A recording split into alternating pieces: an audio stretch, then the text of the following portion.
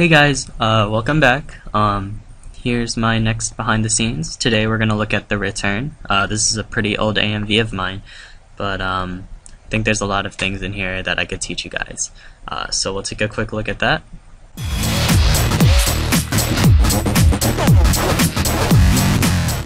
Okay, cool. So um, first thing I'm gonna do is go into Vegas, and I'm gonna tell you guys there's a lot of secrets in this video that make it look better than it actually is. Um, if we go to this scene right here, it looks like we have a mask, but that's actually just chroma key. Uh, the characters were in the sky at that moment, and I keyed out the blue.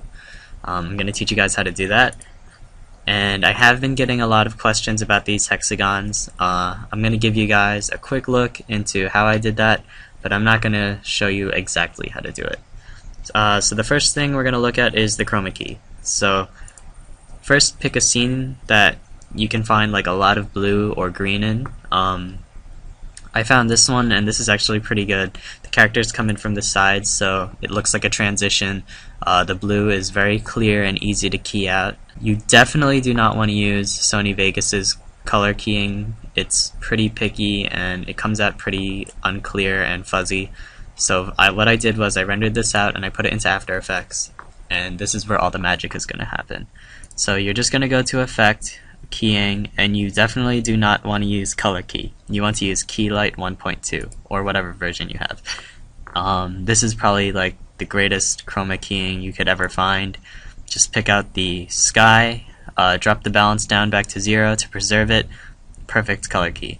Um, next thing you want to do is go to screen matte and the white areas are the areas you're keeping and the black areas are what you're getting rid of. The gray areas are going to be transparent which means our chroma key isn't as perfect as it should be. So what you could do is clip the white down. So if we look at the final result, we have a very nice color key. Uh, when you render this out and you want to put it back into Vegas, um, when you make your movie, do not forget to go to the output module and click RGB plus alpha.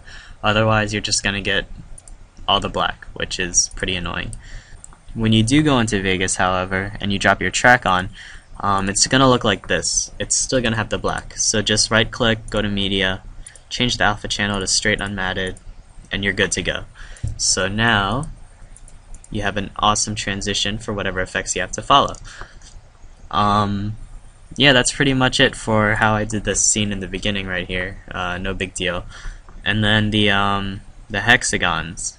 Alright, so here you go guys, quick behind the scenes look at the hexagons.